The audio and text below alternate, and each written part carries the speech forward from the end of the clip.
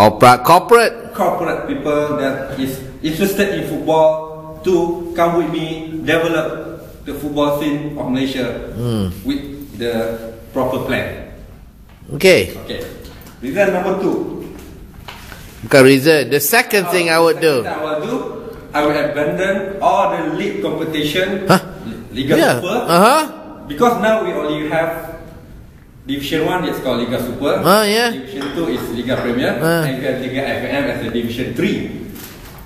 There's only three. So? Because in the state, we have the state like KL League, Selangor League. We're not centralized. So I abolish all the the league. Like I put the example like the EPL, we put in more team in Liga Super, for example, like 20 teams. Liga Belanda 20 teams, and we have Division 3 and Division 4 and so on. So the state will only manage the non-league team. Yeah, we call it conference in UK.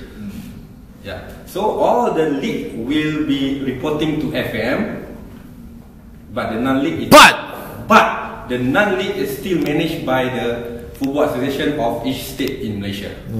Okay, so it's easy to manage like that. So we can see the team from Taiping FC, Tumpat FC, Tidur.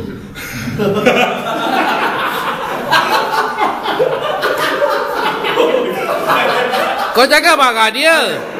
Not his fault. Your fault. Your fault. Kau punya, kau punya tu mengaku. You know the the apa small small uh, you know the small town team like Banting FC Yeah. can we be move forward uh, with enough uh, you know money dan uh, fund from the corporate Corporate. or corporate. Uh. So what I see now in Malaysia, the money is a big problem to manage to develop team. Ah. That's why JDT.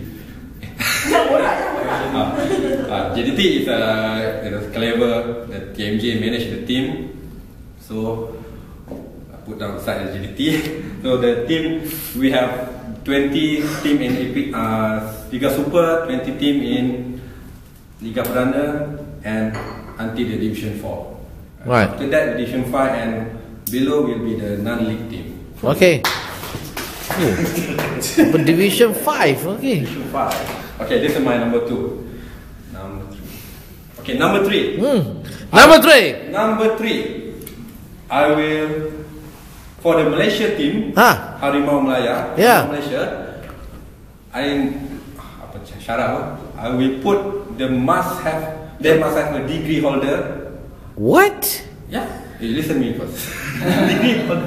All player in Harimau Melaya Must. have a degree holder in any field they choose.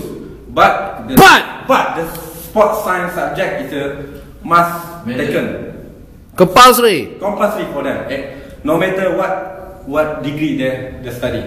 Because I take example in Japan and Korea, there's a 1980s there's there's PA like Malaysia 1980s we have Ola Bola, uh, we have beat South Korea, but we broke out the Olympic. But- but we broke out the Olympic. But when the when 1990, but from 19, But- but from 90, I think 1982 the World Cup qualification we doing bad actually. Because we hope that 1980 team will go to the first World Cup of Malaysia 1982 but they didn't But- but but they didn't and the Sultan Ahmad Shah taken FAM from 1984 I think. But the Korea, But- but but the Korea have qualified for the first time in World Cup in 1986 Ah, but from that But- but from that level Korea have moved forward and we still in this Ah. 1980s era Aha. Ah, so what I'm studying that I research in Google and all that all the player in South Korea and Japan have degree it's a degree level player then their thinking is very wise and uh, But I disagree with you. I disagree with you. Yeah, David Beckham doesn't have a degree. But the, the education system But- is different Uh, Lionel Messi doesn't have a degree. This, Neymar doesn't have a degree. is a. Cristiano Ronaldo doesn't have a degree. But what I mean here is a team like a like normal player, average player. We can develop them like the food. We eat more protein to be taller, like Japan player, or 175 cm and above.